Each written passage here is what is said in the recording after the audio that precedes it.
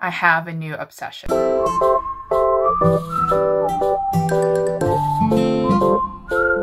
Hi guys, welcome back to the channel. Now, if you guys are new here, my name is Lisa and I'm a romance booktuber as well as a young adult booktuber. I talk about these two genres the most on my booktube channel, but I tend to dive into new genres and test out new genres to see which genres of books that I would fall in love with next. So far in last year of 2020, I fell in love with thriller novels and I also fell in love with middle grade novels and I also fell in love with general fiction and as well as paranormal romance. So this year, is not not a surprise that I've tried out a new genre and I've already fallen in love with it, and it's actually classics. So if you guys are also new to booktube uh, with the classics community, definitely check it out. There's actually a hashtag called classics community, and it's filled with all these booktubers from different ages, from different backgrounds, and it's just these really passionate readers talking about these classic novels that you might write off and you might think that they sound really boring, but they talk so passionately about it. They talk so eloquently about like the plot devices, the plot itself and character motivations and the characters and also the author backstories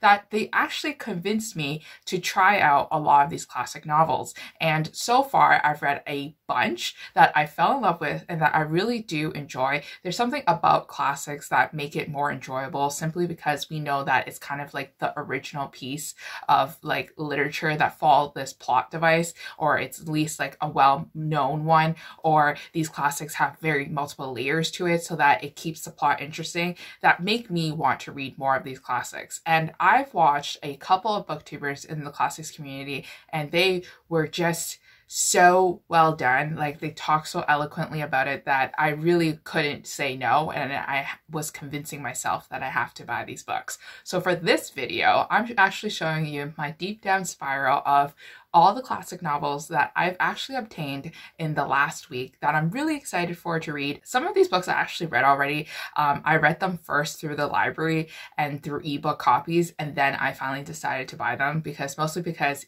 buying books is kind of like a gamble. You never know if you're going to like it or not. And I didn't want to spend money on something that I didn't like. So some of them I did read and some of them I'm just super excited to read. So let's get started. So I think the first stack of books that I'm going to talk about is actually these Penguin Classic editions that I think a lot of people use on Bookstagram as part of like the dark academia like trend that was trendy back in like last year near Halloween and near um like October time, lots of people really follow that dark academia trend with, you know, the plaid, the red lipstick, the dark hair, and, you know, the aesthetic and everything. So here I am trying to follow that aesthetic.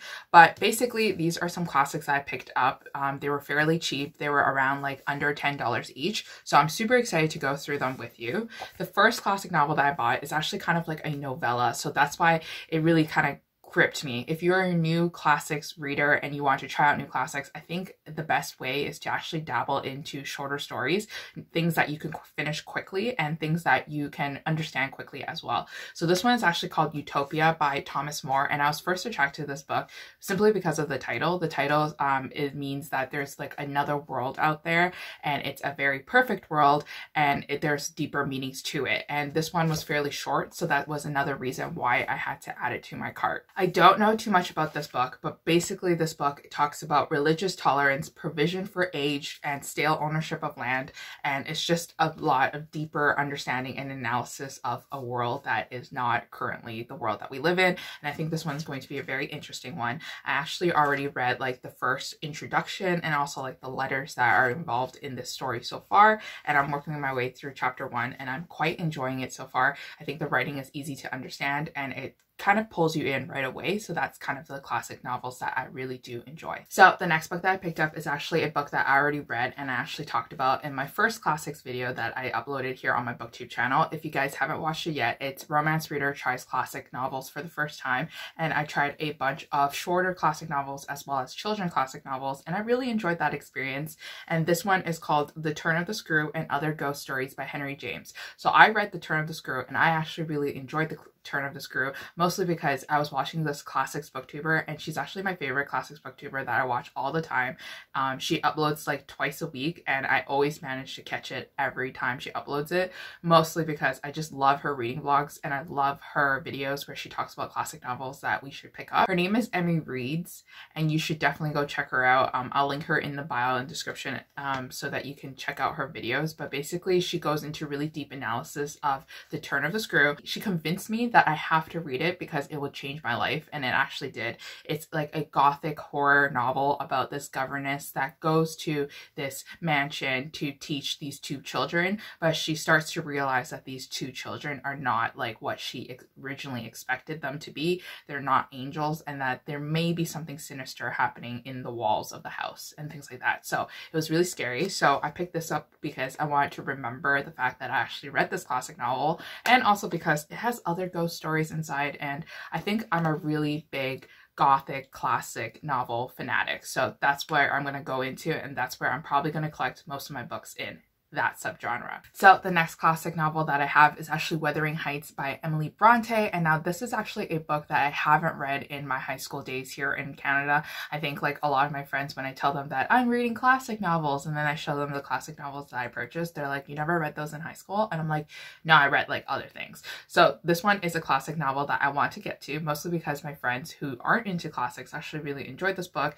And um, I heard really great things about this one. This one is about a person who kind of goes into a house seeking shelter during a winter storm and that's where he kind of learns like the couple that lives in that house and like their rocky relationship. I heard there was like a lot of imagery in here and a lot of like symbolism in here so I'm excited to really dive deep into this book with the help of also online resources and to really have a better understanding of the themes and the characterizations involved too as well. And I think that's like another great tip of reading classics if you guys are nervous about missing details the thing about classics is that there's so many resources online that you will never miss a detail as long as you have Google. So if you don't understand something, you can Google it and you can figure out like why this scene is 30 pages long. So the last Penguin classic novel in this edition that I have is actually Frankenstein, the 1818 text by Mary Shelley. So then this one is another one that is really high up on my classics list, um, mostly because it's gothic, it's horror, it's everything that I ever want in a classic novel. It follows the classic tale of Frankenstein, which just like a monster made up of different pieces and it's just like him kind of like wandering about. I feel like that this one will be something that I'll really enjoy, especially now that I'm still in the winter months here in Canada and it's like dark and creepy at night. So something that I'm looking forward to, especially because my friend who is like a English major and she is like a classics fanatic, she told me that this one was her favorite classic novel ever. So really excited to get into this one and I can't wait to tell you more about it. So now we're moving into our really pretty editions of our books that are hardcovers and also like fake leather bindings and things like that. So the next book that I have to show you is actually the complete collection of Jane Austen novels.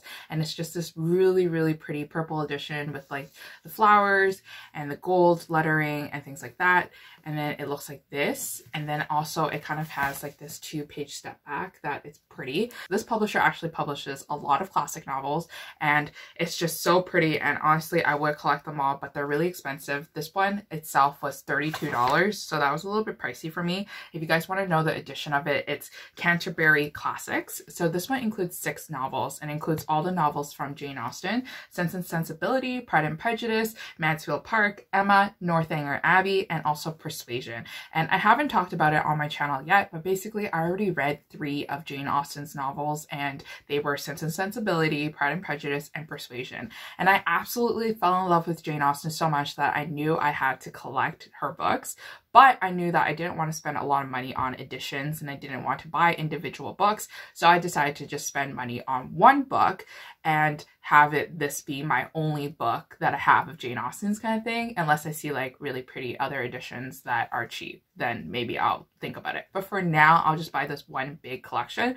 This one was $32 and I think it's pretty cheap compared to me buying six of her books for probably $10 each and for editions that I don't even like that much. So might as well spend money on a book that I really like. So the last couple of edition novels that I have is actually from Paper Mill Classics and these ones are like, I thought that they were hardcover because they just look like they're a hardcover on the website that I bought it from, from my bookstore, but they're actually not. They're actually like leather binding and like It's like soft cover, but it's leather, so it's not really impressive, but the designs on the books are really pretty, so I guess I'll just like let it go. So the first book that I actually bought is actually a book that I've always been interested in, mostly because of that one movie with Emma Stone, and it's called Easy A, and it's basically kind of like a retelling of the Scarlet Letter by Nathaniel Hawthorne, and after watching that movie, I was just kind of really interested in this character who basically had you know intercourse before wedlock and then became pregnant and then have like the whole society turn their backs on her and how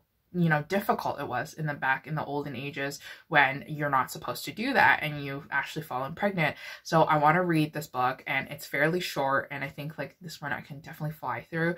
I really like the minimalist like design of this book too as well and i think it looks really nice. The white ones do look really cute. So the next book that i actually got is actually dracula by bram stoker bram stoker. And now this one is something that i've always wanted to read too as well which is kind of interesting because back in grade seven i remember vividly when I was in English class, my friend was actually reading Dracula and I made fun of her because I was like, why are you reading a classic? Like they're so hard to like understand. Like I don't get it.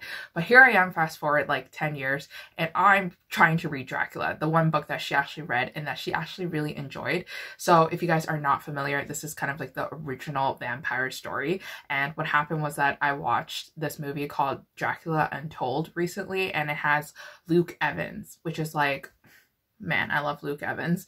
And I watched it and I just loved the Dracula character that I just wanted to read like the original book to see like this character come to life in the book format. So totally excited to read this gothic fiction as well. And the next book that I have is actually The Phantom of the Opera. So now a lot of people in the classics community and especially like the person that I watch a lot, she really loves The Phantom of the Opera and lots of people love the story, but I don't, I never watched the play. I never watched the opera. Like I don't know the story. Like I don't know what's happening. Like why is everybody in love with it? I just know that there's this like mysterious ghost that's kind of like going out throughout like the opera house and causing tr trouble and causing causing havoc, but I want to know like what is actually happening. So that's why I picked up this book. It was fairly short, so I'm really excited to get through it. And this book is actually by Gaston Leroux. I think that's how you say his name, but like, you know, I butcher names here all the time.